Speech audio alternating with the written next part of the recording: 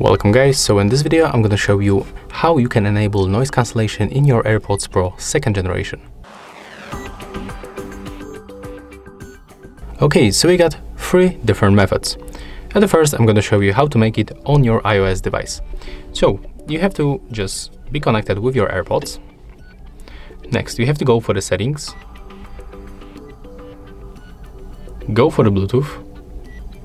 Select the information icon of your AirPods and right now, as you can see right here, when you put the left one and the right one to our ears, we can make it right here by using this touch control panel. So basically all you have to do is just put them to the ears and swipe right here to the noise cancellation or just turn it off.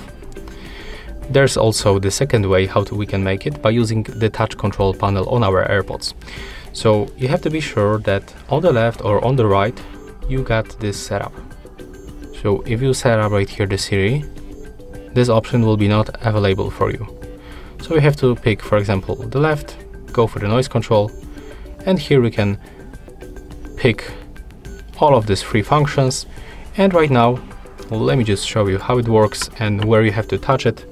So I'm taking the left one from my ear, I'm covering the sensor and right now as you can see uh, right here in this place we can find this small cutout in the AirPod right here.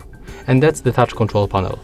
So when I'm gonna click and hold it as you can see I'm gonna switch from the transparency mode to off and click one more time to go for the noise cancellation.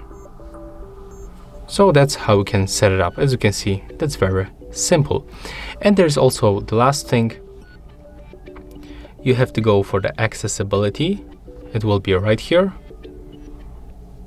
And you can go for noise cancellation only with one AirPod.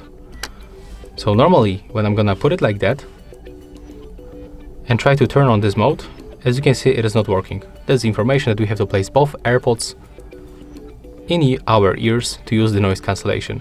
But when you go for the accessibility and enable noise cancellation with the one AirPod, we will be able to activate this feature just like that without putting the second one or just covering the sensor right here.